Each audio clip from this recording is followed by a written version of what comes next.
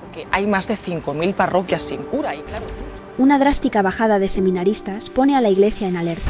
No hay relevo generacional y los veteranos están desbordados. Así las iglesias se llenen, no hay curas para tanta gente. Menos fieles y menos vocaciones sacerdotales. Muchas iglesias cierran en su función religiosa y son vendidas como locales de ocio o directamente abandonadas.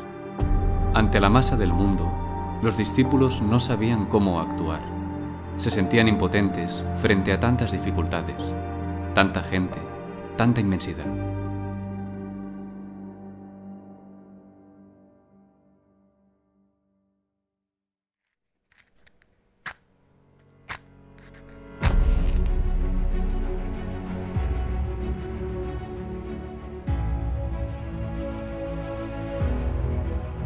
Y Jesús los pone en marcha. Son pocos, pero harán cosas grandes, y ya no se sienten atemorizados ante la multitud.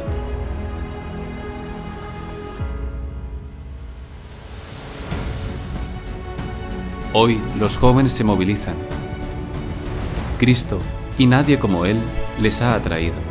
Lo han escuchado, se han interrogado, le responden caminando juntos porque se saben llamar.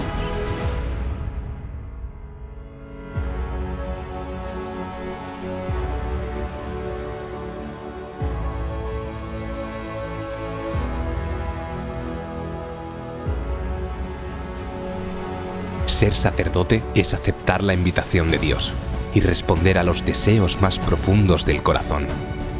Yo no tengo ahora otras manos en la tierra que las tuyas. Con tus manos yo bendeciré y entregaré mi cuerpo y mi sangre. Sanaré al enfermo, acompañaré al apóstol, levantaré al caído, abrazaré al pecador, enjuagaré las lágrimas de los sufrientes y yo resucitaré a los muertos para la vida eterna. Tú puedes ser las manos de Dios. Tú puedes ser sacerdote de Cristo.